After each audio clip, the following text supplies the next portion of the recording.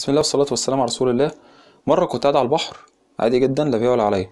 لقيت واحد داخل عليا ومعاه قفة كبيرة وبيقول لي أنا معايا سمك وقاروص وطازة ولسه طالع من البحر ومش عارف إيه وبتاع وأنا أصلا المركب بتاعتنا راكنة هناك أهي وأنا عايز أبيع السمك ده عشان بتمن وأجيب فطار للصيادين اللي معايا ومش عارف إيه. طب وريني يا عم السمك اللي معاك. قال لي معايا سمك قاروص وطازة ماشي.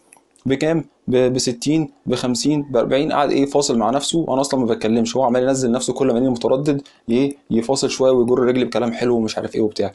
المهم أنا ما خدتش خوانه واشتريته وتمام. لما روحت وبنعمل السمكة وبتاع لقيتها إيه مليانة شوك كتير وسفه. وطبعا مش إيه يعني مش ده مستوى القاروص واللي إحنا عارفينه عن القاروص يعني.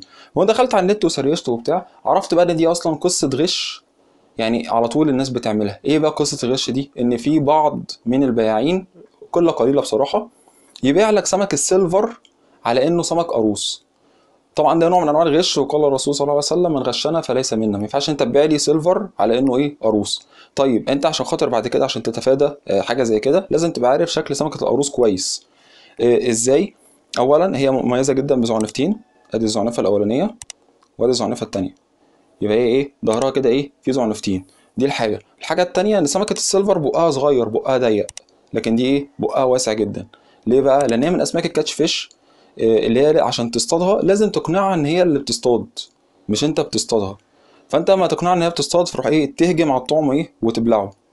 طبعا بالنسبة للاكل أنا بحبها جدا آكلها سنجاري بس طبعا في ناس بتحب تاكلها بطرق تانية ومش هنختلف يعني قاروص سمكة من السمكات الجميلة جدا.